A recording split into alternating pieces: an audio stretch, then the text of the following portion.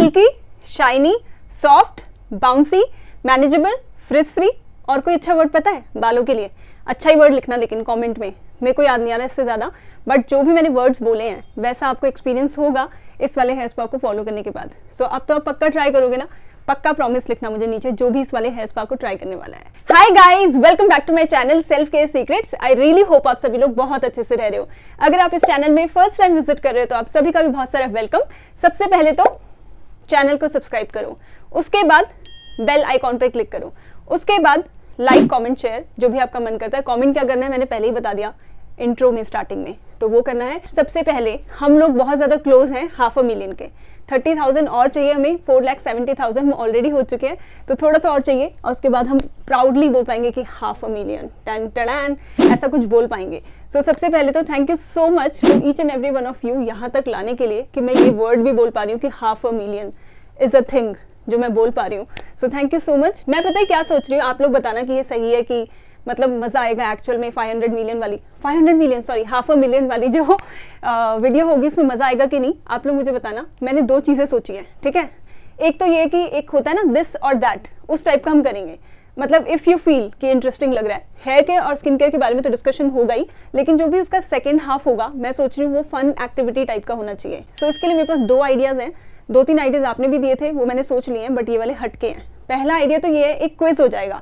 जैसे दिस और that type का जिसमें आप लोग मुझे ऑप्शन दे सकते हो एग्ज़ाम्पल के लिए जैसे मुझे बोल सकते हो माउंटेन और बीचेस तो मैं बोलूँगी माउंटेन्स सो इस तरह का कुछ है ना कर सकते हैं। सो so, आप मुझे ऑप्शन दो दिस और दैट वाला और मैं वो कवर करूँगी। उसके अलावा दूसरा ये मैंने यूट्यूब में बहुत लोगों को देखा है जिसमें सब लोग क्या कर रहे हैं ना जैसे जो भी क्रिएटर है अपने सब्सक्राइबर से पूछ रहे हैं कि आपकी कोई फैंटेसी बताओ। सो so, आप लोग कुछ भी अनरियल बोल सकते हो।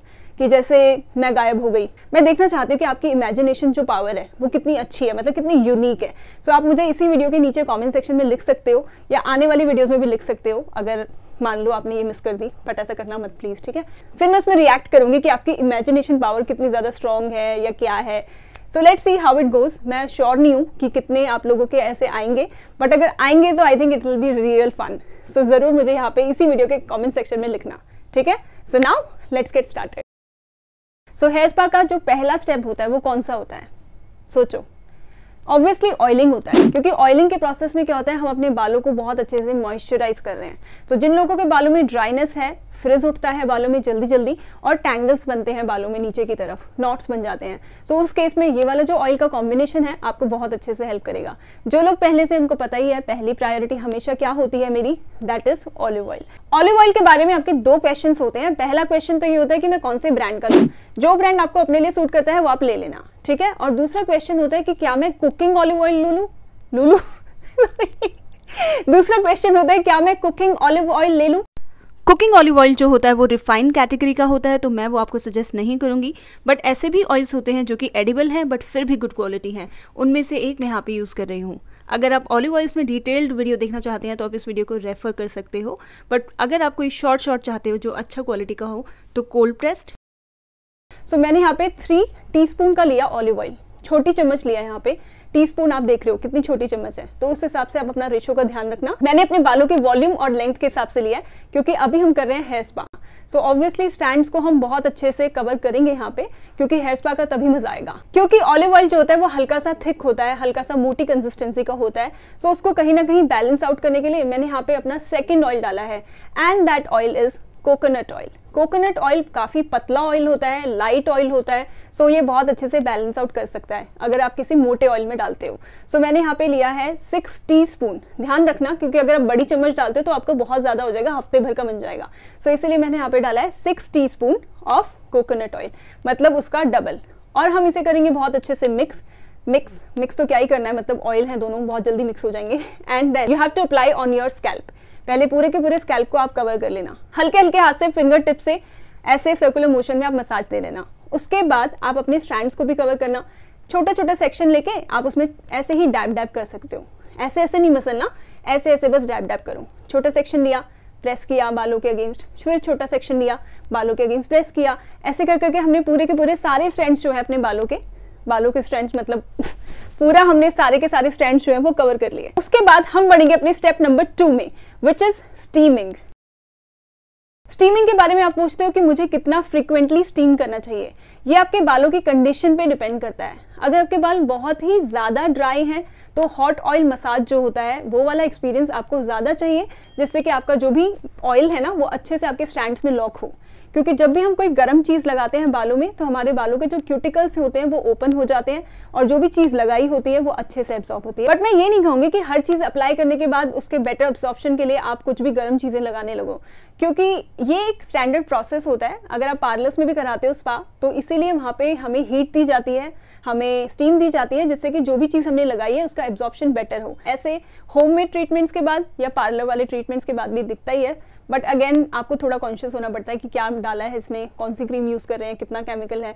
सो so, वो आपको देखना नहीं पड़ता अगर आप खुद से करते हो ठीक है? खुद से स्टीम लेने के लिए भी दो मेथड्स हैं जिन पे आप रिलाई कर सकते हो। पहला तो है थर्मल कैप और दूसरा है हॉट टॉवल आप इन दोनों में से कोई भी ऑप्शन चूज़ कर सकते हो। वैसे कुछ लोग मुझे पूछ रहे थे कि अरोमा थेरेपी यूज़ करके भी बालों को स्टीम दी जा सकती है। सो so, उसके बारे में आप कुछ एक्सप्लेन करो। सो so, इसके बारे में मैंने कुछ कुछ आर्टिकल्स भी पढ़े कुछ कुछ अपना इन्फॉर्मेशन लेने की कोशिश भी की और मैंने एक अपना जो होता है ना रिसर्च मोड वो ऑन किया। Experimental mode rather I would say वो ऑन किया और एक तरह का स्टीम जो है मैंने लिया। बस एक टिपिकल दिया टाइप का वो लोग ऐसे देते हैं और उसमें से भाप देते हैं। वैसा टाइप का कॉन्सेप्ट होता है। सो so, मुझे बहुत ज़्यादा इंट्रिक किया बट मुझे लगा सम हाउ वो घर पे कन्वीनियंट नहीं होगा और इतना ईजी नहीं होगा उसको फॉलो करना। तो मैंने क्या किया जो नेजल हमारा स्टीमर आता है ना उससे ट्राई करके देख मैंने क्या किया था उसमें प्रॉपर जो होता है ना अरोमा ऐड करने के लिए मैंने उसमें डाला था सैंडलवुड पाउडर लौंग एक थोड़ा सा अरोमा क्रिएट करने की कोशिश की थी मैंने और मैंने उसमें रोज एसेंशियल ऑयल भी डाला था।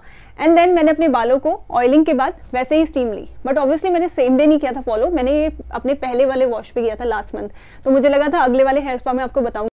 उसके बाद मैंने यहाँ पे one teaspoon of rosemary leaves dry rosemary leaves जो होती हैं, वो डाली थी।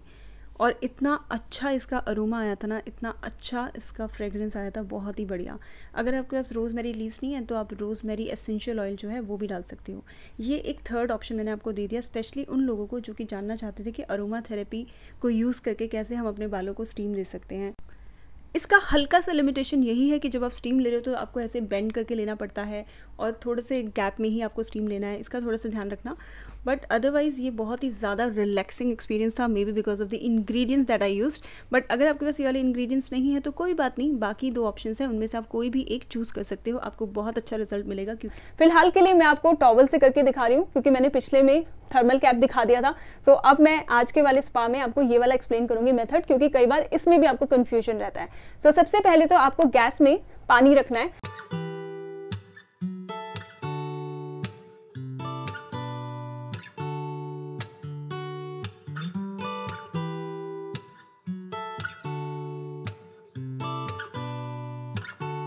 गर्म करने के बाद हम गैस ऑफ़ कर देंगे। गैस ऑफ़ करने के बाद कोई भी माइक्रो फाइबर वाला जो टॉवल है, हम इसमें डिप करेंगे। अगर आपके पास माइक्रो फाइबर वाला टॉवल नहीं है तो मैंने नीचे कुछ ऑप्शंस आपको दिए बट इफ़ एट ऑल आपको नहीं चाहिए आप नहीं परचेज करना चाहते तो कोई बात नहीं आप घर पे कोई भी कॉटन टी शर्ट होती है वॉश्ड वाली वो भी यूज़ कर सकते हो क्योंकि वो भी आपके बालों को वो सॉफ्ट टच भी देगी और स्टीम भी दे देगी। तो मैंने यहाँ पे अपना टॉवल यूज़ किया है। सो so, सबसे पहले टॉवल को हम यहाँ पे डिप करेंगे। यहाँ पे कई लोग गलतियाँ ये करते हैं कि टॉवल डिप करने के बाद वो उसे अच्छे से नहीं निचोड़ते। अगर आप पानी को अच्छे से नहीं निचोड़ रहे मतलब टॉवल को अच्छे से नहीं निचोड़ रहे तो उसका जो भी पानी है वो रह जाता है। उसमें मॉइस्चर जितना कम रह जाता है आपके टॉवल में एब्सॉर्प्शन उतना ही बेटर तरीके से होता है। सो so, इसीलिए आपको क्या करना है? अपने टॉवल को बहुत अच्छे से स्क्वीज आउट करना है जिससे कि जितना भी एक्स्ट्रा मॉइस्चर है वो निकल जाएगा और हल्का हल्का गर्माहट जो है ये वाला टॉवल आपको देगा। उसके बाद आप इसे अपना हेड रैप कर लो। प्रॉपर तरीके से कोशिश बस यही होनी चाहिए कि हमारे एक एक स्ट्रैंड जो है वो टॉवल के अंदर कवर हो जाए या फिर टी शर्ट के अंदर कवर हो जाए। और उसके बाद उसे आप ऐसे ही रखना for about five minutes five minutes तक हमने इसे ऐसे ही रखा। Step number three is shampoo आज हम टिपिकल जो पार्लर वाला हेयर स्पा होता है ना, वो करने वाले हैं। मतलब दो स्टेप फॉलो किए फिर शैम्पू किया जिससे कि हमारा जो भी अगला स्टेप है वो बहुत अच्छे से आपको रिज़ल्ट दिखा सके। जो नेक्स्ट स्टेप है मैं पार्ट टू में आप लोगों से डिस्कस करूँगी एंड होपफुली मैं आज ही वीडियो को लगा दूँगी। होपफुली क्या आज ही लगा दूँगी। रीजन बिंग क्योंकि संडे आप लोगों का ऑफ़ होगा। एंड आई एम श्योर आप में से काफ़ी लोग इसे ट्राई करना चाहोगे। सो so, इसलिए मैं नहीं चाहती कि मैं संडे लगाऊँ फिर आप लोगों का वो दिन वेस्ट हो जाएगा क्योंकि संडे सुबह सुबह थोड़ी मैं लगा दूँगी। सो उस केस में फिर आप लोगों का टाइम वेस्ट होगा। सो इसलिए मैं सोच रही हूँ कि सैटरडे ही लगा देती हूँ और सेकेंड हाफ़ में लगाती हूँ जिससे कि आप लोग भी अपना ब्रेक लेके आ जाओ। आप लोग अपना खाना वाना खा लेना लंच कर लेना फ्रेश हो जाना फ्री हो जाना और उसके बाद फिर से वीडियो में आना। सो so बेसिकली मैं इंडिया का जो थ्री ओ क्लॉक होता है ना, उतने बजे लगाऊँगी। सो थ्री ओ क्लॉक मिलते हैं ब्रेक के बाद। Till then bye